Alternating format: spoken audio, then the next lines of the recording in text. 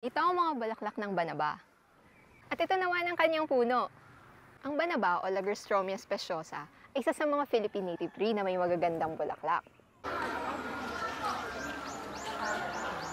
Ang iba pang tawag sa banaba ay mitla, pamalawagon, at tagbangaw.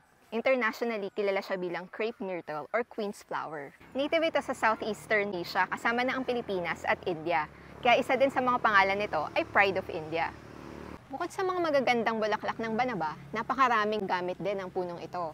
Pwedeng kainin ng bulaklak at ihalo sa salad, soup, desserts, at inumin. Ang dahon naman ng banaba ay traditionally ginagawang tsaa para pambababa ng blood sugar at mamanage ang diabetes. Ang kahoy naman ng banaba ay fire resistant at merong natural durability kontra sa mga anay. Nagpo-form din ng malawak at malalim na root system ang banaba, kaya pwedeng-pwede ito sa soil erosion control. Sa Java, ginagamit itong pang-reforest ng mga degraded na hills.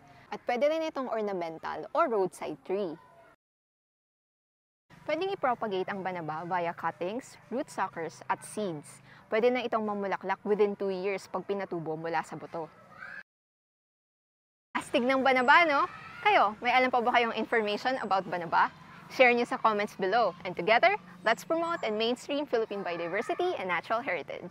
Ako si Celine, support my work by sharing this original video and not re-uploading it. Hilingan tagiraray sa next video.